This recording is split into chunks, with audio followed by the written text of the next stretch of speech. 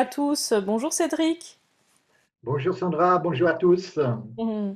Donc euh, aujourd'hui, donc on retrouve Cédric Dupont euh, pour sa prochaine chronique. Donc nous allons parler d'amour et d'argent. Ah ah, des sujets importants pour tout un chacun et qui sont extrêmement liés, n'est-ce pas, euh, Cédric? Mais totalement, totalement. Ça me tenait à cœur justement de parler que l'argent c'est de l'amour, ou l'amour c'est de l'argent, et, euh, et c'est très relié justement, bon, mis à part toutes les croyances négatives qu'on peut avoir sur l'argent aussi également, mais c'est très relié à comment nous nous ouvrons à recevoir l'argent et comment nous nous ouvrons à recevoir de l'amour. C'est interrelié et ça dépend tout.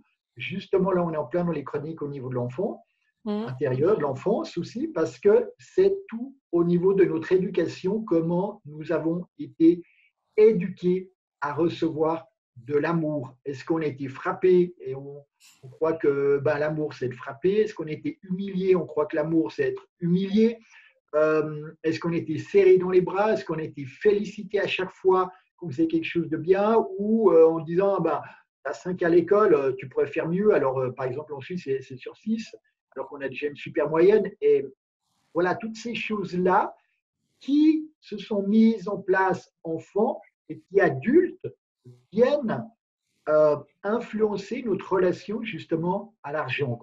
Mhm. Ok. Ok, donc, euh, mais du coup, alors ce qui se passe, euh, moi ce que j'aimerais savoir, ce qui m'intrigue, c'est que par rapport à ce que, à ce que tu viens de nous expliquer, notamment, alors un exemple, on va, on va essayer d'être concret pour que ce soit plus facile. Euh, un enfant qui a été euh, violenté, euh, qui n'a pas reçu d'amour, qui a été humilié quand il était donc enfant, enfin, il devient quel adulte par rapport à l'argent? Est-ce que ça, tu peux y répondre ou pas?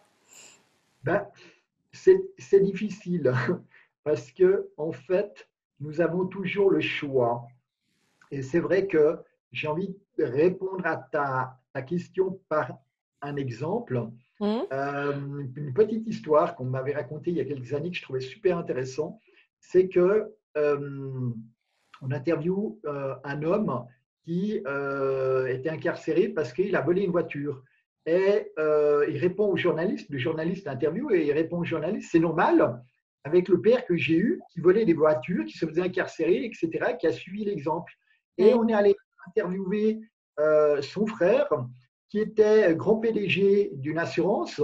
Et en fait, euh, on lui pose exactement la question, puis il dit, ben, c'est normal que je suis de- devenu euh, avec le père que j'ai eu, et il est devenu, lui, complètement l'opposé. Donc c'est ça aussi qui est intéressant, c'est que nous avons toujours le choix, soit de modéliser, de prendre en modèle, soit de faire l'opposé.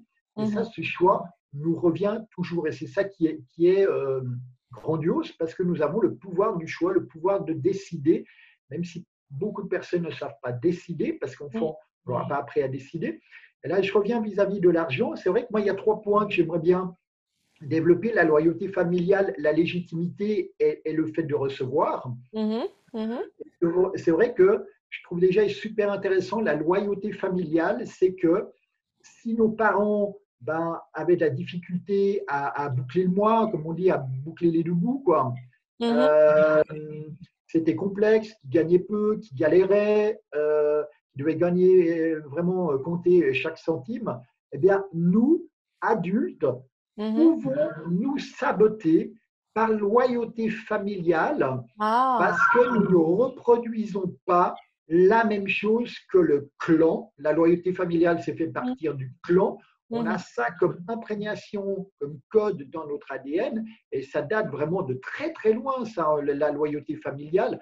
Au niveau du clan, ça, ça- ça- ça date euh, quand on était au niveau de l'époque des cavernes. Et mhm, euh, si on faisait- se faisait bannir du clan, euh, ben, on ne survivait plus, on mourait. Donc euh, là, on a vraiment ça comme programme interne. Quitter le clan, c'est mourir, quoi.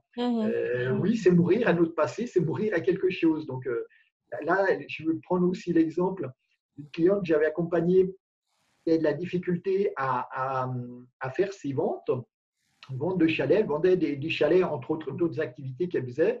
Et tout à mhm. coup, suite à coaching qu'on a fait, elle a eu trois ventes qui se sont, mais, mais euh, ding, ding, ding, ding, qui se sont euh, mises en place, mais euh, très rapidement, en 10-15 jours. Et là, elle m'a dit, mais, mais, tu sais, Cédric, je ne ou pas, tu sais, Cédric, euh, je me rends compte que là, en trois ventes, j'ai dépassé le salaire annuel de mon père et je me sens mal à l'aise mmh. par rapport au commissionnement qu'elle a reçu. Et d'autant plus que j'avais rien à faire dans ma vitrine par rapport au service que je propose. Eh bien, je, c'est des gens qui sont venus mettre la photo de leur, leur, chalet. Il y a des gens qui sont venus me voir. Ils ont dit Ah, mais c'est intéressant, clac, clac. En un quart d'heure, la transaction était faite et euh, elle gagnait l'équivalent de 30 000 euros quoi, en 15 mmh. minutes. Quoi. Donc, c'était pour elle, c'était odieux. Oui. Et il y avait un problème de loyauté familiale vis-à-vis de son père, de gagner trois fois comme ça, plus en bossant, mais, mais je ne sais pas, une heure, une heure et demie finalement dans de toutes les transactions, plus que ce que son père a gagné en une année. Et là, finalement, il a saboté toutes ses ventes. Après, derrière, plus, je crois qu'elle n'a plus jamais fait de vente, plus jamais voir d'ailleurs en plus, plus jamais plus, plus bosser ça. Mais c'était incroyable. Ah L'auto-sabotage par rapport à la loyauté familiale mmh et que c'est pour ça que nous allons apprendre à devenir déloyal, à quitter la loyauté de papa et maman, apprendre à faire différent de ce que nous voulons dans la vie, et surtout, ben là je parle de l'argent, mmh euh, mais ça, ça peut s'étendre vraiment à tous les domaines. Et, là, la loyauté familiale, ça peut être une super prison, on peut se sentir vraiment bloqué, fermé, limité à reproduire la même chose et ne pas oser s'autoriser à, euh, à, gagner plus que eh papa et maman, et, surtout par rapport à tout ce qu'on a vu au niveau de l'enfant. Mmh ça, c'est le premier point que j'avais envie d'aborder. De, d'aborder le deuxième point, c'est la question de légitimité ou illégitimité, se sentir légitime ou pas légitime. C'est-à-dire, c'est surtout comment on a été accueilli euh, bébé. Est-ce qu'on a réellement été accueilli en tant que garçon ou, que fille? Si par exemple, papa, maman voulaient une fille, puis on était un garçon, ou, elle mhm. voulait un garçon, puis c'était une fille, eh bien là, il y a quelque chose au niveau de notre cerveau d'illégitime tout à coup par rapport à ce qu'on est biologiquement et au niveau des attentes de papa ou maman, eh bien, on va se sentir euh, en, décalage par rapport à cette légitimité et ça crée une forme de conflit intérieur. Et ce qui fait qu'après, surtout si on veut se lancer en tant qu'indépendant, entrepreneur, faire de la pub dans nos services, dans ce que nous proposons, euh, même de ce que nous voulons vendre, etc., nous n'oserons pas nous mettre en avant, faire de la pub, faire des conférences, etc de parler réellement de ce qu'on fait parce qu'on va se sentir illégitime. Et bien souvent, je peux dire nécessairement qu'il y a toujours ça, mais je, je me suis rendu compte que cette racine peut se retrouver enfant et surtout par rapport à la légitimité de notre sexe, garçon ou fille. Et ça, c'est une influence hyper profonde et c'est hyper profond dans notre inconscient. Ça peut être déjà dans le ventre de la maman, donc c'est vrai que ça remonte à loin, euh, ces ancrages voire à la naissance ou quand on est euh, en 0 et 5 ans. Je citais les âges dans la dernière, euh, dernière conférence.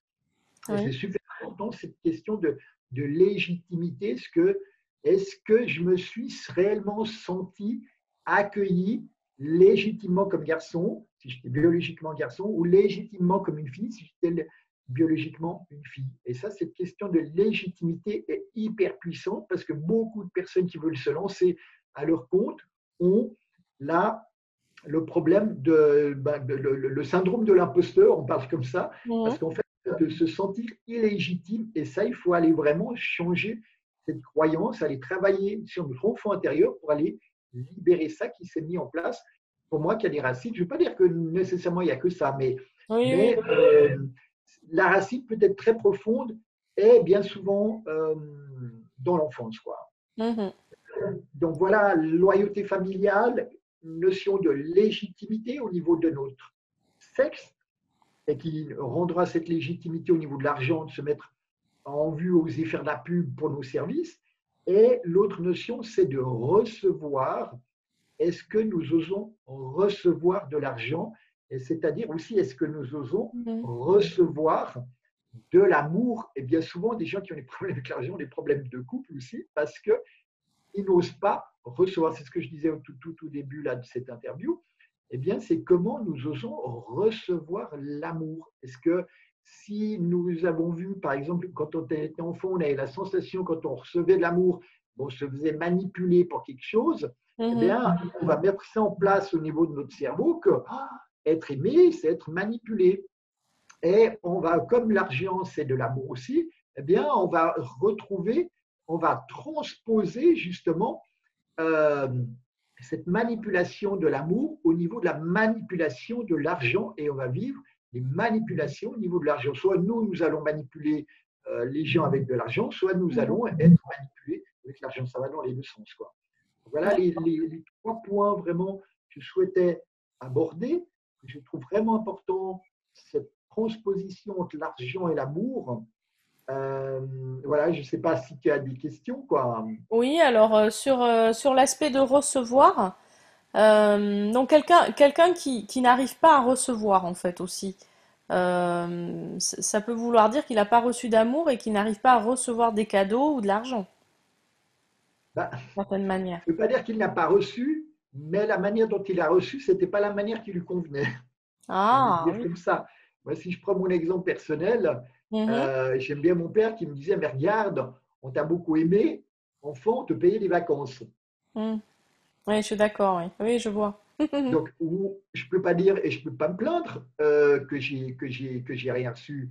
Euh, quand je vois des enfants qui sont jamais partis à la montagne ou à la mer, moi j'ai eu de la chance d'être allé plusieurs fois à la mer et, et euh, quasiment toutes les années en- à la montagne quand j'étais enfant. Donc c'est vrai qu'il y avait, j'avais des vacances, j'ai reçu, mais par contre j'ai pas reçu mhm, l'amour. Moi j'aurais aimé que mon père me prenne dans les bras, me dise je t'aime, voilà, me soutienne dans, dans mes projets.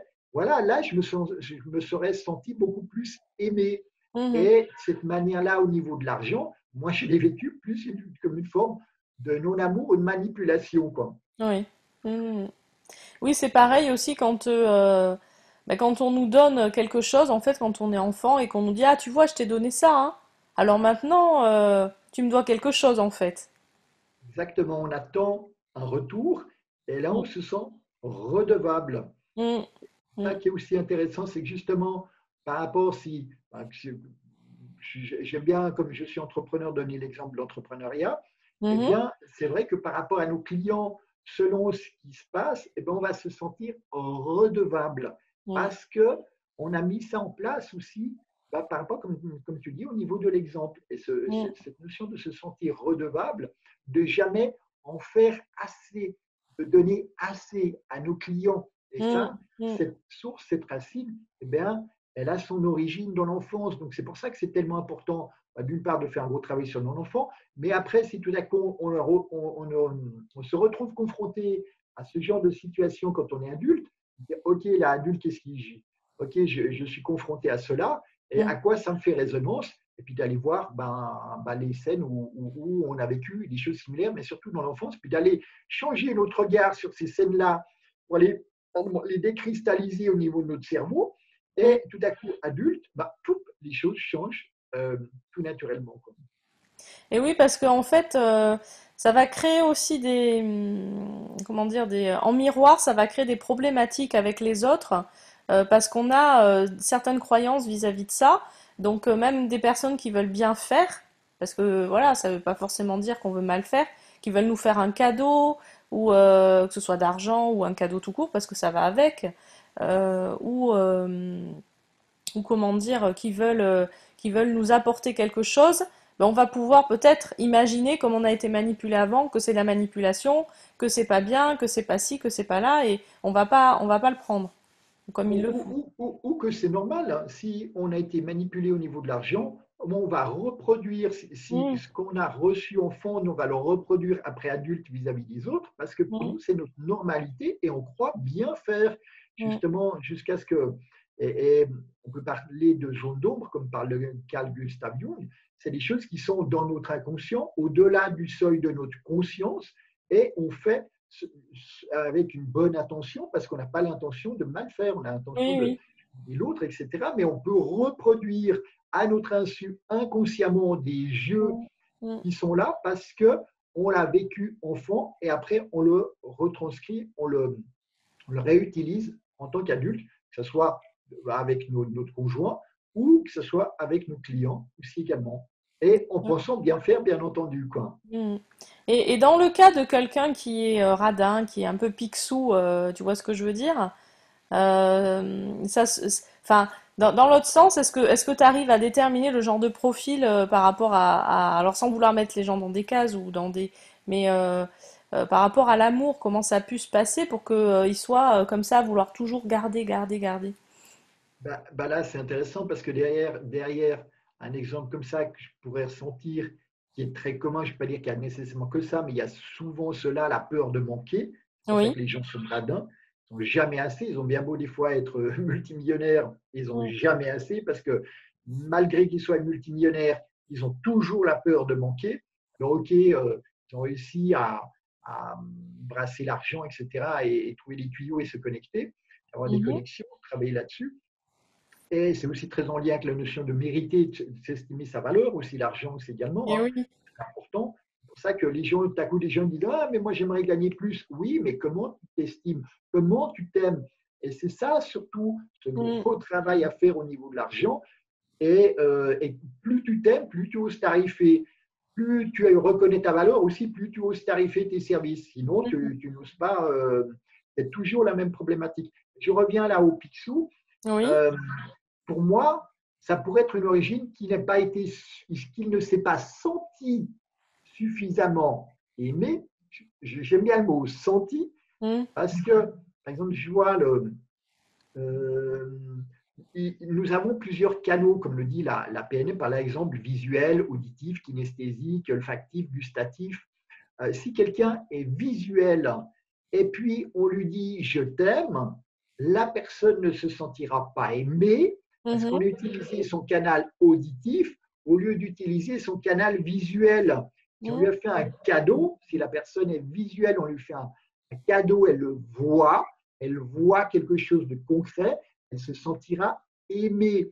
Si au contraire, euh, euh, ben, ben le- quelqu'un qui est kinesthésique, qui a besoin du toucher, eh bien, si elle est touchée, elle se sentira aimée, mais Mhm. si on lui fait des cadeaux, eh bien, elle ne se sentira pas aimée. C'est pour ça que je dis cette notion de se sentir aimé, parce que Eh oui. Eh oui. fond, on a pu recevoir, mais on n'a pas reçu de la manière qui nous comblait, dont on se sentait rassasié, Mm. et ça crée toujours en nous, dans nos psychés, des sensations de manque. Mm.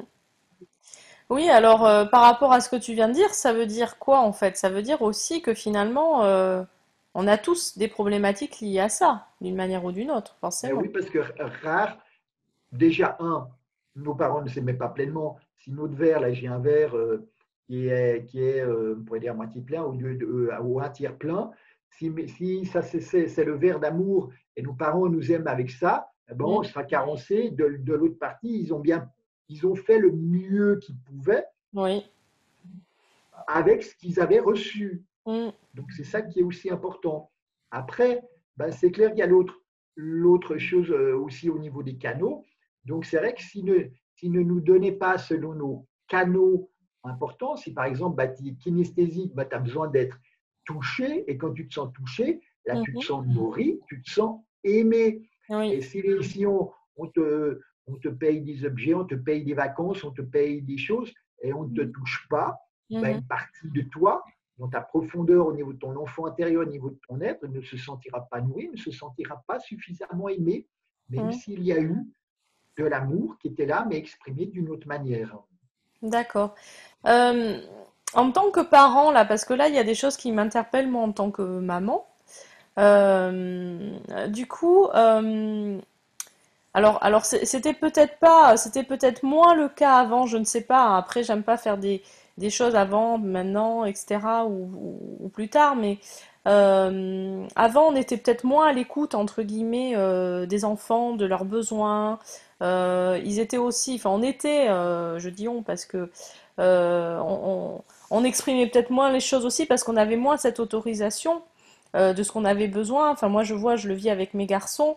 Euh, bon, après, euh, c'est vrai que je suis aussi dans une éducation bienveillante qui fait que cette éducation leur permet d'exprimer pas mal de choses.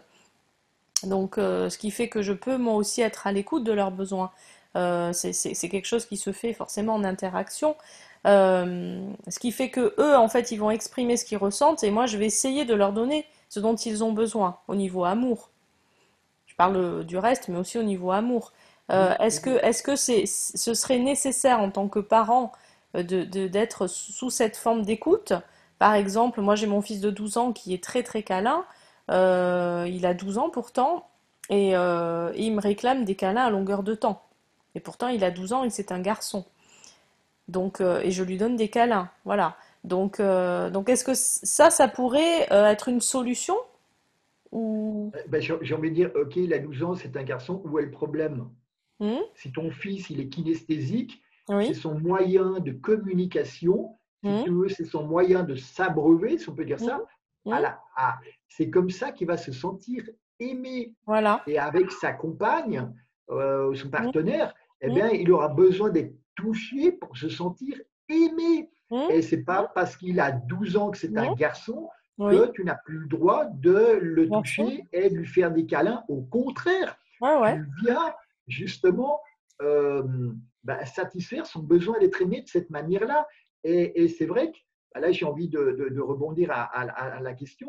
Ben Oui. oui, et c'est vrai que je me Mhm. rends compte, euh, ben moi j'ai un papa qui a 85 ans, quoi. Et c'est vrai Oui. qu'il y avait une éducation, il y avait une culture Hmm où avant les gens étaient pudiques, n'osaient pas exprimer leurs émotions, Hmm leur affection, leurs sentiments, dire je t'aime. Je n'ai Hmm jamais entendu mon père dire je t'aime à ma mère euh, en 35 ans de mariage, quoi. ah oui. Euh, et, et c'est vrai qu'il me disait, mais moi j'aimais ta mère. Donc c'est vrai que tout, tout était intériorisé, mais les choses n'étaient pas exprimées. C'est vrai qu'il y a une nouvelle conscience sur Terre et je vois, euh, surtout moi j'ai 51 ans et je vois la différence entre ceux qui ont plus de 50, 60, etc. Ou ceux qui ont, ont 40, 30, 20.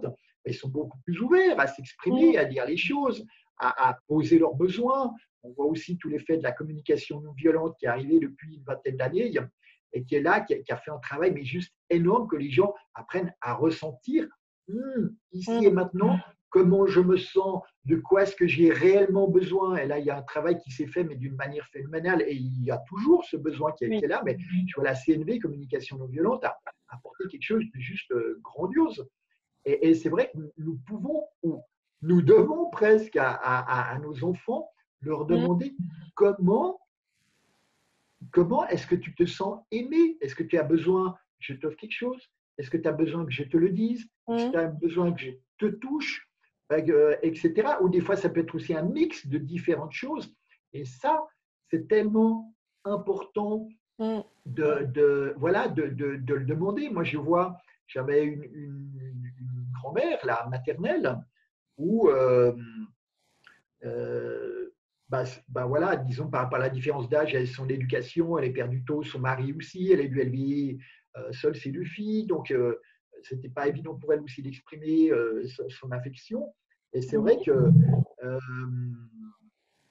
moi je me suis dit, bien tiens, j'aurais aimé une autre grand-maman, j'aurais aimé une grand-maman qui me raconte des histoires, qui me prenne sur ses genoux, qui donne un biscuit, et, et etc., un peu plus câline, qui n'était pas le cas.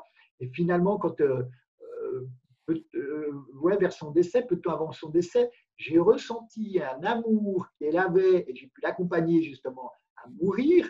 Et là, j'ai senti l'amour qu'elle avait envers moi, où tous ces barrages, tout à coup, son éducation et tout qui a sauté, et j'ai senti mais la dimension du cœur et l'amour qu'elle a envers moi, mais c'était juste mais énorme. Et or, euh, durant toute mon enfance, je dis, mais punaise, euh, j'aurais bien aimé que ça puisse être exprimé, mais plus tôt. Et, voilà, tous des barrages au niveau de l'éducation, des interdictions, des tabous, des- de la culture, euh, voilà, le mixte de notre sociabilisation, de notre éducation. Quoi. Hmm.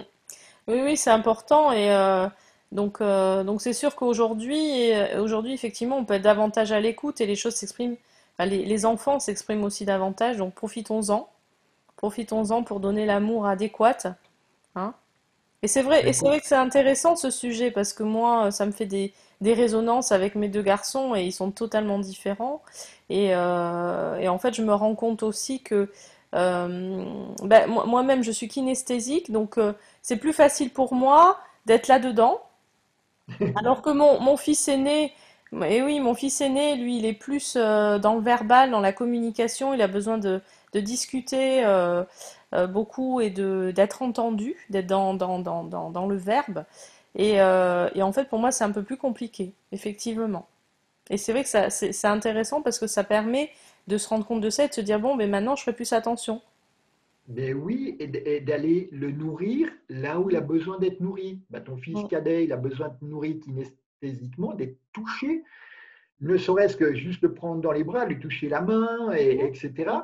Et mm, de le prendre dans les bras, de faire des hugs, c'est tellement bon et ça, ça produit euh, au bout de trois minutes l'hormone de la joie, c'est juste fabuleux, euh, la mm, transformation chimique que ça amène dans notre corps, de pouvoir être pris oui. Et là, mm, ton fils, il a besoin d'être écouté, d'être entendu, de pouvoir communiquer, de pouvoir dire, et là, c'est son canal. Oui, j'ai envie de dire, c'est vrai que bah, c'est, que ça soit, que ça soit euh, voilà, au niveau de nos enfants, ou que ce soit au niveau même d'enfants que nous nous occupons, on peut voir sur oui, quel canot, justement, ils fonctionnent et les, et les nourrir à ce niveau-là et d'utiliser mm, leur, leur, leur propre canot. Quoi. Et c'est mm, ça qui est, qui, est, qui, est, qui est tellement important. Quoi. Ouais, c'est intéressant en fait cette, euh, cette, euh, cette donnée-là de l'avoir, mais j'ai envie de te dire, c'est même intéressant aussi euh, avec notre conjoint, c'est intéressant aussi parce que euh, voilà, comment, euh, comment ça se joue, comment les relations se jouent, euh, on pourrait le transposer ça euh, à l'infini, mais euh, avec nos proches, avec nos amis, enfin voilà, on pourrait transposer ça quand même pas mal, donc c'est Ah, intéressant. C'est vrai, c'est vrai que là, c'est marrant, j'allais sur le bout de la langue, tu m'as tu m'as pris mon thème. Là, par rapport à notre conjoint, c'est exactement la même chose. Comment te sens-tu aimé? De quoi as-tu besoin pour te sentir aimé? On peut la poser à nos enfants, on peut la poser à notre conjoint, à notre partenaire, cette question. Parce qu'on peut tout faire euh, vis-à-vis de notre partenaire, puis dire, ah, ben moi, je ne me sens pas aimé. Ah ouais, mais parce que ta coup, n'utilise pas le bon canal. Et euh, c'est comme si on n'est pas le bon tuyau d'arrosage quoi, pour, pour ouvrir la vanne et vraiment donner ce que l'autre a réellement besoin au fond de lui. Et ce n'est pas parce qu'on ne peut pas l'aimer, c'est qu'on ne peut pas, c'est tout simplement on n'utilise pas le bon moyen de, de, de l'aimer, tout mm, simplement. mm. C'est, ça me fait penser à la fameuse expression euh, il ou elle t'aime à sa façon, mais pas du- de la bonne façon. C'est exactement ça en fait. Mais complètement, Mm. complètement. Je trouve que ça, ça peut être le- la, la phrase finale. hein. Oui, Euh, c'est la conclusion de. Exactement. Mm. Il, il ou elle t'aime à sa façon, mais pas de la bonne façon. Exactement. Et nous avons à apprendre à lire, à découvrir ce que l'autre a réellement besoin. Et, et le mieux, c'est de lui poser la question, Mm. de faire de la lecture pensée. euh, je sais, euh, il doit savoir ce que j'ai besoin. Non, verbalisons-le. Nous sommes dans une, dans une société où une conscience de communiquer. Communiquons nos besoins, tout simplement. À nos enfants, demandez-le leur et à notre partenaire, posons la question de quoi as-tu besoin pour te sentir aimé? Et moi, de quoi est-ce que j'ai besoin pour me sentir aimé? Ça peut vraiment aller dans les deux sens aussi. Quoi. Tout à fait. Et puis c'est quelque chose aussi d'important et d'intéressant parce que euh, euh, chacun va prendre conscience aussi de ça. Parce que c'est pas sûr qu'aujourd'hui tout le monde ait conscience de la manière dont il a besoin d'être aimé. Ben non, ça demande un chemin d'évolution personnelle et de se poser la question de quoi est-ce que j'ai réellement besoin pour me sentir aimé Et ça, nous avons tous à nous poser cette question. Mm. Et voilà, et donc euh, c'est là qu'on arrive dans l'abondance d'amour après et, et dans l'abondance d'argent, puisque c'est lié. Ben oui, plus nous nous ouvrons à l'amour, plus nous nous ouvrons à l'argent. C'est interrelié, tout simplement. Et c'est pour ça que des fois, c'est aussi complexe que ça pour certaines personnes de recevoir l'argent, parce que c'est complexe pour elles de recevoir de l'amour. Mm. Du vrai amour, pas du fake amour, quoi. du vrai Oui, amour. voilà. Mm. Mm. Bon, ben c'est super, Cédric, sur ces belles conclusions. Ça y est, là, je sens l'amour qui arrive. Donc. C'est génial, ouvrons nos cœurs et, euh, et merci euh, à tous de nous avoir suivis. Euh, donc, euh, belle journée, euh, belle journée, Cédric, et puis, puis à très très vite, hein. On se retrouve très vite, hein. Merci à tout le monde et bienvenue à vos questions aussi les poser sous la vidéo, que je puisse y répondre à d'autres fois, les, les prochaines fois. À D'accord. très vite. À Merci. Belle bientôt. journée à tout le monde. Prenez soin de vous, c'est Prenez important. soin de vous.